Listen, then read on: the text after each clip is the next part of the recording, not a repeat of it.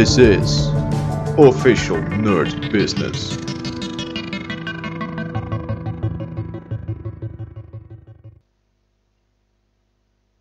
Hello nerd boys and girls, welcome back to our programming series. Today we are going to look at non-abundant sums Euler problem number 23. We will be taking a swing at it using Python 3, so let's have a look.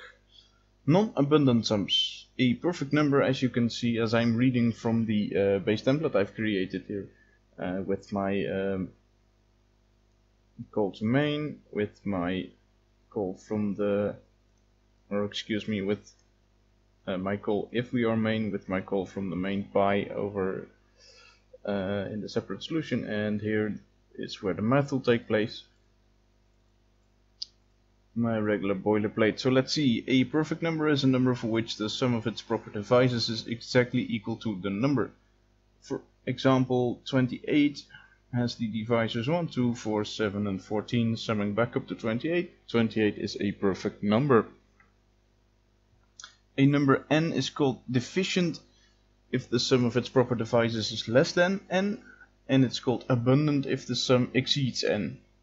12 is the smallest abundant number. 1, 2, 3, 4, 6 combined make 16, which is larger than 12 itself.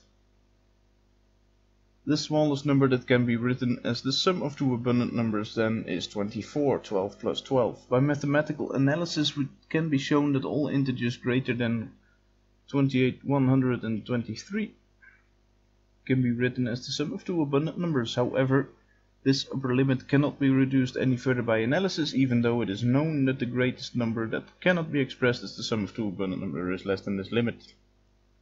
Find the sum of all the positive integers which cannot be written as the sum of two abundant numbers. So a lot going on there, splicing in perfect numbers, um, also uh, giving us a definition for abundant numbers so when the uh, the sum of its proper divisors is bigger than the number itself. Note that the divisors here don't um, include the number itself obviously.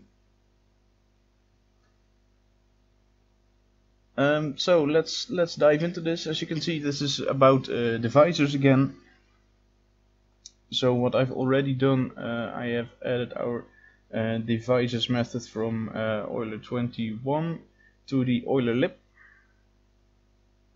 So lib Euler.py now has this method copied in from the um, uh, from the previous place we used it 21 21 um, nothing's changed we can switch between including or excluding the uh, the number n itself and it will return a list of all the numbers it finds uh, based on the square root. Now how that works you can look up in um, the mathematical video with uh, that came along with Euler problem number 3 here on the channel.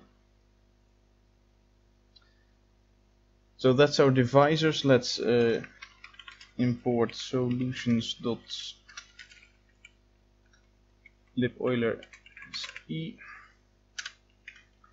and let's see what we've got to do here um, so the, basic case here we don't really get we have uh, some small data to test if we find abundant numbers for instance um, uh, 12 obviously and from the 24 but we don't really have any smaller test cases um, for the structure that we're trying to make then other than um, the, the requested n itself. So let's see, what should we do? Um, we are looking for um, numbers that are not the sum of two abundant numbers. So to start, I'd like to find all the abundant numbers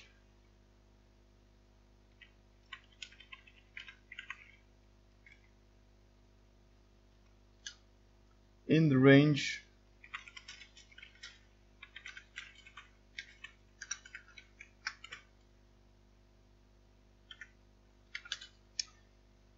all all the way up to the upper bound that we were given. Uh,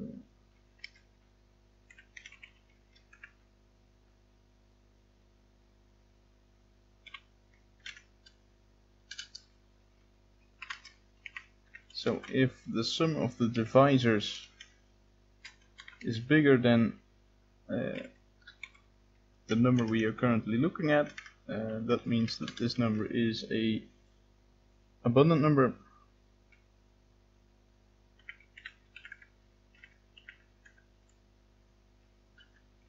So now we have a list of all the abundant numbers. I am somewhat interested in seeing um, that was pretty quick and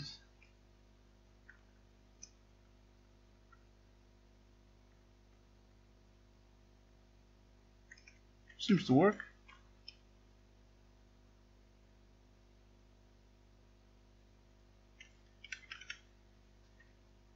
now let's um,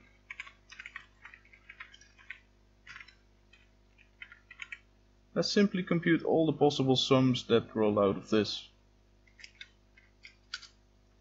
So we are going to instantiate um, um, x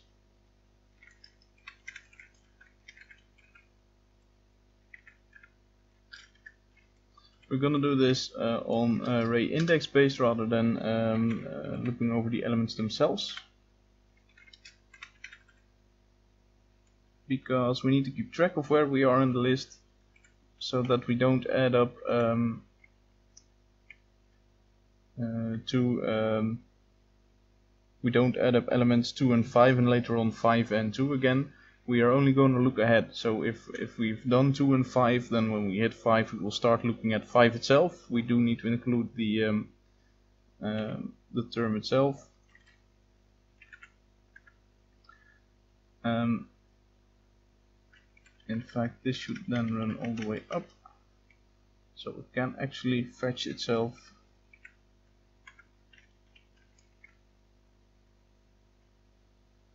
There we are. Now, this is um,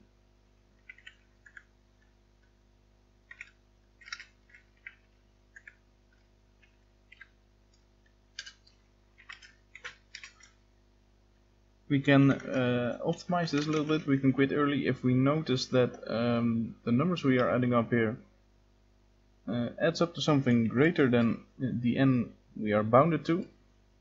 Then we can break this for loop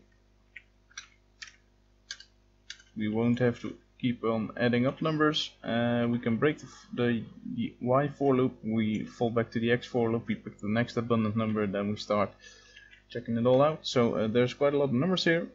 First time this runs, this adds 12 and 12, 12 and 18, 12 and 20, 12 and 24, 12 and 30, etc. until let's say 12 and 36 was bigger than the n we gave it, then it'll break, then it'll take 18, 18 plus 18, 18 plus 20, etc. until it hits 18 plus 30 which will be bigger than uh, whatever uh, n we gave it that makes it greater than 36 then I'll take the 20 etc etc so the number of sums it will do on uh, each further iteration will be uh, slightly less than uh, the number of uh, calculations it did in the loop before. And now we want the sums of abundance to include Q here. Uh, it might be possible for this sort of sum if we take a look. I see a couple of numbers to do this. Um, if we add up 12 and 30, we will uh, 12 and 36 will we hit the same number as uh, 18 and 30. Uh, so I want to prevent that from happening. So here's our friend the set again.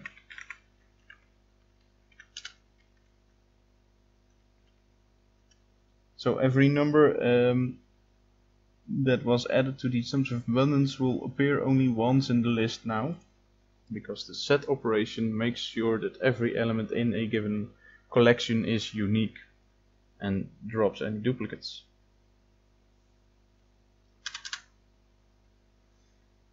Now let's generate a list of all the um, non-sums. Uh, let's see now. Uh,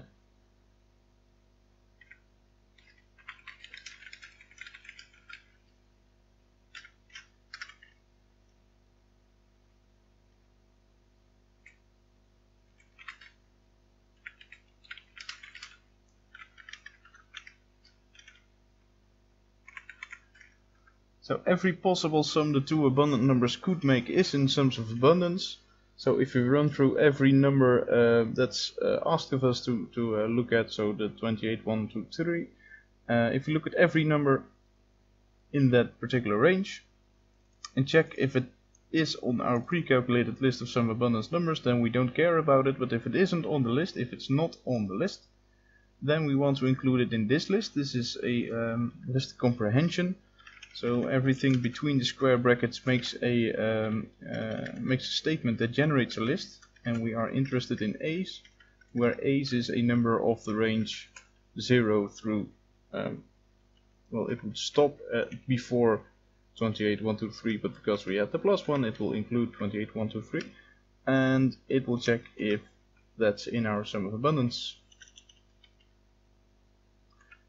Now we are interested in the height of this number.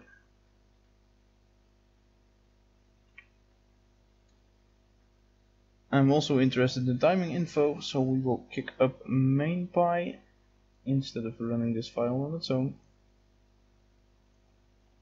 23 default argument. This does take a second. Uh, it's it's doing quite some calculations. 3.8 seconds. And there's the answer. Spoiler alert, if you enter this over at Project Euler, you will get the green check mark.